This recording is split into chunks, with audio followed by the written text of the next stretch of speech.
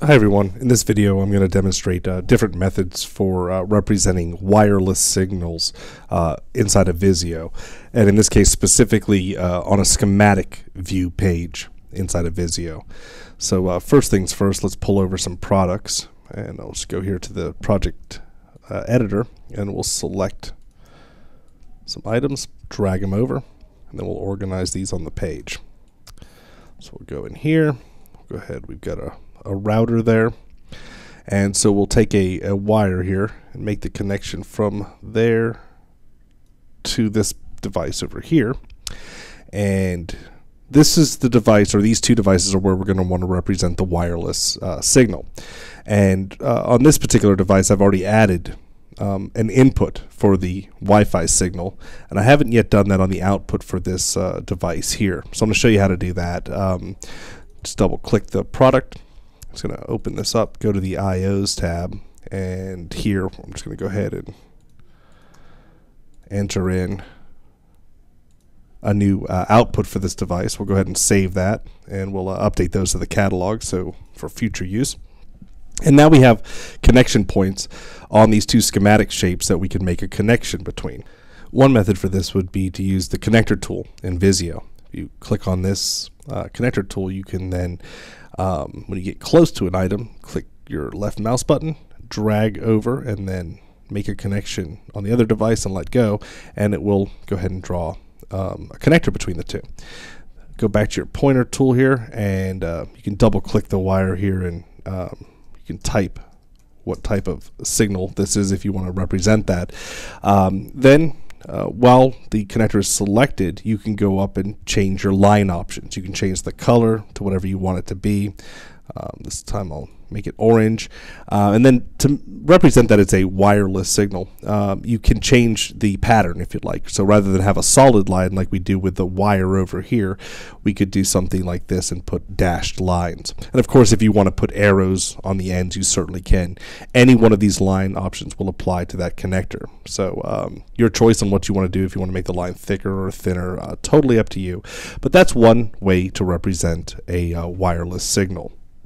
I'll go ahead and delete this one uh, and show you a second method would be to use the line connector shape that uh, we've provided from DTools. That's over here. If you go to your Shapes tab and go to your Wire Shape Stencil, there's a line connector uh, shape in here. And this is not connected to products in your database. So when you drag this over, uh, all you're going to be prompted for is the type, which is actually the subcategory field. So you're going to need to add uh, a subcategory uh, for each one of these wireless signals that you want to represent, whether it's Wi-Fi or if it's Bluetooth. So uh, if you scroll down here in the list, I've already added Wi-Fi, and we'll select that. And all this will do is just put the text directly on the line for you automatically. Then just drag it over and make your connection. So we'll take this, make the connection. There we go. And then, of course, um, if you want to change your line, this time, you know, I'll make it uh, purple, and I'll make it uh, dotted. And so that can represent um, a wireless signal as well if you want to use that with the text already uh, displaying on there. Two very similar methods, uh, neither of which would be accounted for on any wiring reports. So if uh, wiring reports are important for you that these signals show up on those uh, particular reports, you're going to actually have to create a fake wire in your database uh, and when I say fake wire, you know, one with no pricing, um, no labor on that, it's essentially just a, a Wi-Fi signal, and use one of the actual wire shapes. In this case, it would be the finished wire shape uh, that would be associated with the line. Make your connections, and then those will report uh, back to the wire reports. And I'll go ahead and demonstrate that now. First, I'll go ahead and delete this off of the page here and go to the project editor. And we're going to actually, again, have to add that fake wire to the project. So um, you'll have to pick your location where you want to add the wireless signal, either to its source or its destination. Uh, that'll be up to you. Uh, this time, I guess I'll just leave it uh, in the source, the home office here. And we'll pull over the catalog here. And if we scroll down this list, this is what I've created here. Uh, I'm going to go ahead and drag it over to the page, and then I'll double click it to show you uh, what this is, but let's go ahead and take a look at this fake wire. Um, I just set this up. It's category wire and cable, model number Wi-Fi, subcategories Wi-Fi, um, and there's no pricing on this. That's the key thing. No pricing, no labor. Um, it's not real, but it's here uh, and it will uh, be represented with a wire shape on this page. Uh, once again, for reporting purposes, mainly the wire reports. Uh, keep in mind, this will show up on other reports as well, unless you filter uh, these particular wires out. So uh, be consistent in your naming, so you can do a quick filter and get those out of the way if you don't want to see them say on a proposal.